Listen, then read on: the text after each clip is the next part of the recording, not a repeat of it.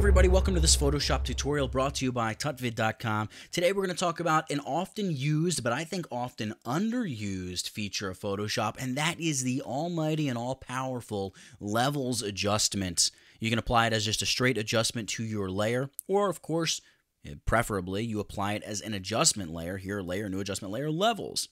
We're going to talk about how to use that in Photoshop and some of the hidden powers of the levels feature. Now, before we get going, I just want to remind you our sponsor for this month, graphicstock.com. You can go over there this month only, April of 2016. Sign up 39 bucks. You get six months of access, over 300,000 images and stock uh, vectors, illustrations, graphics you can download. It's all royalty free stuff. Great stuff. There's a link down in the description to this video. You can go check it out. And hey, look, the photo we're using in this tutorial today, we got from graphicstock.com. With all that in mind, let's talk about levels. So we're going to apply a levels adjustment layer here, but actually before we do, um, under image adjustments, this levels dialog box is a little bit different than the levels dialog box you get for your adjustment layer, mainly because you have this options feature and also you can auto level correct. Uh, you have some different presets, which honestly, I in in the years and years and years that I've used Photoshop, I've never used a single one of these presets even once. Um, so it's just not my thing. I don't really use them. You can load and save your presets, yada yada yada. Um, all this stuff in the middle we'll talk about with the adjustment layer. It's all the same. Uh, eyedropper is the same thing. You can just hit auto to auto correct the um, the contrast. Auto, is it ever really a good idea? Probably not. So I don't usually do that. Hold down the Alt or Option key and the cancel button switches to reset, and you can just reset your curves to what they were. The options here, these are the auto color correction options. You can basically pick the way that Photoshop will auto color and tone and contrast correct your image by finding light and dark image uh, by finding light and dark colors, right? So if we tell Photoshop, hey, that's actually my shadow, uh, I can hit OK, and like up here, this is actually a highlight okay, and my midtone is actually like here or what I don't know, whatever. Um, and it'll use that stuff and mix it up. And you can find more information on any of the boring Photoshop classroom books uh, that you like the the gist and the moral of the story is don't use auto. Learn how to really use levels and it'll be great for you and you can save a preset and just drop that onto your images later on when you've created something yourself and you actually know what the levels are doing to your photo. It just it empowers you so much more and you'll know exactly how to adjust images when you open up one of your images from the get-go. So I'm going to hit OK here and we're going to use the adjustment layer. So layer new adjustment layer levels. I can give it a name. I'm just going to keep it as levels 1. And then here's my levels dialog box. So we've got a few things to look at here. Number one, most people know you drag the dark handle in, it's going to increase or intensify the dark shadowy areas of your image. If you drag the light uh, color stop in, it's going to do that for the bright parts of your image, which effectively, as you can see, increases the contrast quite drastically in your image. Um, I'm going to just drag that stuff back out because I don't want that uh, going on. What we can also do is drag the midtone point. Now, if you drag the midtone point toward the dark slider, we're opening up the brighter parts of the image more. Therefore, it's going to make the image appear brighter. The image will lose some contrast, but the image will appear brighter. The same can be said for dragging toward uh, the white slider. It's going to open up the darker parts of the image. And you can see it makes the image, well, you guessed it, darker. I'm going to set this back to 1.00, which is the default. We also have our output levels. Now, output levels are very useful um, and really, really interesting because a lot of people think of curves as uh, a feature that you're going to use when you want to increase contrast. But what about when you want to decrease contrast? And there are times when you'd want to do that.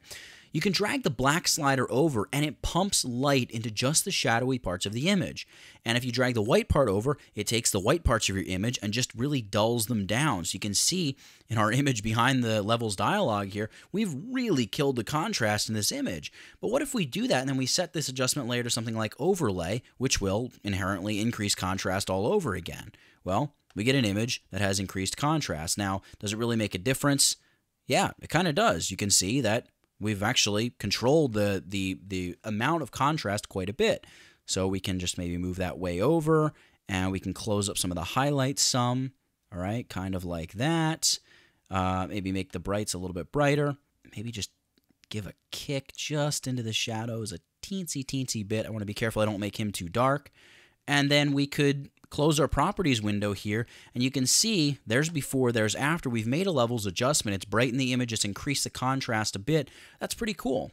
I'm going to add another layers, uh, I'm sorry, another levels adjustment layer here up here in my adjustments panel. That's the levels icon there. one of the things that I want to do is just maybe try to kill off some of the blue haze of the image.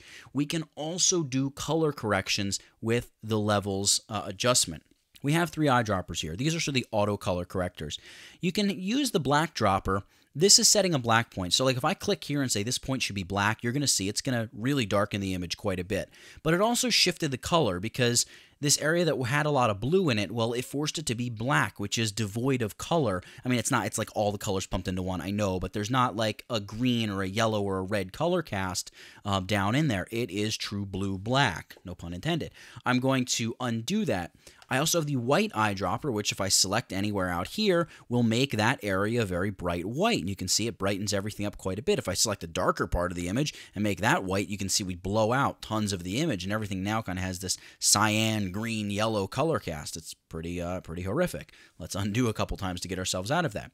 Then we have our neutrals. So the neutral eyedropper doesn't really brighten or darken much of anything. I mean, it, it will affect it a very little bit, but mainly because of color, we can select something that we know should have no color in it and it will white balance in theory it will correct the white balance of the entire image. So we could say hey that really is supposed to be white or something that doesn't have a bunch of color. Now i know to us now it looks like there's a lot of yellow but that's because yellow is the opposite of blue. And when we're staring at an image that has a lot of blue your eye automatically is trying to color correct and artificially infusing the image with a lot of yellow. It's actually true. It's kind of a it's a bizarre phenomenon.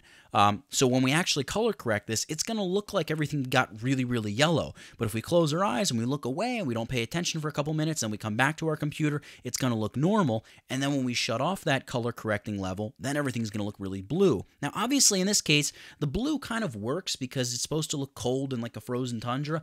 I'm going to get rid of that levels adjustment layer. We're going to create a new levels adjustment and we're going to talk about the color channels. All right, so of course you have your auto color correct stuff, but what happens if you want to control exactly how much color correction or uh, color artistic styling you're going to put on a photo? You can use your color um, channels. Now, red, the opposite of red, and if I drag the black slider here, you're going to see the opposite of red is cyan. You see how we just dumped a bunch of cyan into the image? If we drag the white slider, you drag a bunch of red into the image. All right, that's pretty cool. So the same thing, if we drag away from the black, it's going to you know, dump a bunch of cyan into the image. If we drag away from the white, it's going to dump a bunch of red into the image.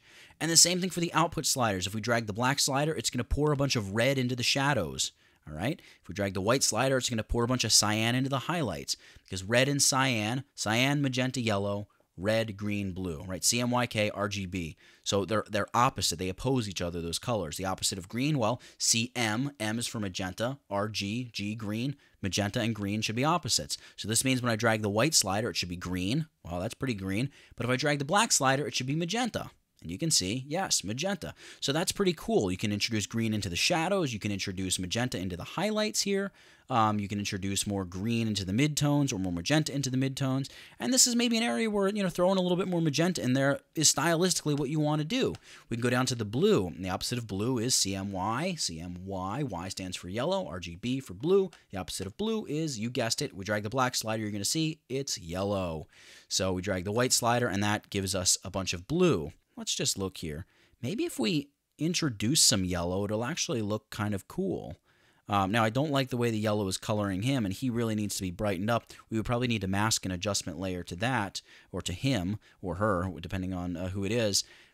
But you can see with levels, not only can you adjust the, the tonality of the image in terms of, um, you know, brightness and darkness and contrast, but you can also change the overall coloring of the photo by using these color channels. Let me just give you another example here uh, in this photo. Let's get rid of the levels adjustment layer we just created. And I know we're kind of spending some time on this, but there's a lot of cool stuff you can do with this.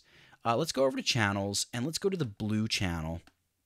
Um, now, the blue channel, if we shut off green and red, the blue channel is very, very bright, and it, it is composed of, I'm going to close my properties here, it's composed of a lot of these areas out here on the mountains that are very blue. I'm going to duplicate, um, actually, I don't need to duplicate it. I'm just going to command click that channel. It's going to load the blue channel as a selection. I'm going to turn on my RGB composite channel. I'm going to select my RGB composite channel, go back to my layers, and I'm going to add another levels adjustment layer it's going to use my selection, i.e. the blue channel, as a mask. You can see the mask that's been created.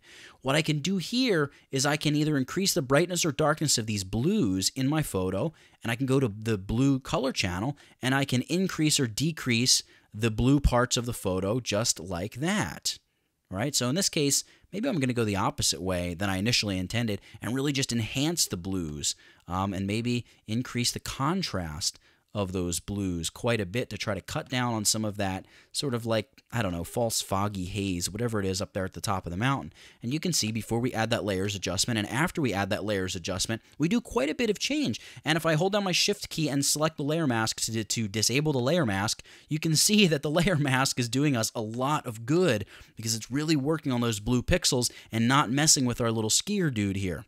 So that's probably where I'll, I'll, I'll, wrap this one up. The levels adjustment, there is just so much you can do with it. It's really, really powerful. And we didn't really even get into, you know, mixing up some blend modes and reducing the opacity a little bit to maybe mix and combine effects. Um, but that's it for now, for this one. For the levels adjustment in Photoshop, that's it. Get it? Got it? Good. Nathaniel Dodson, tutvid.com. I'll catch you in the next one.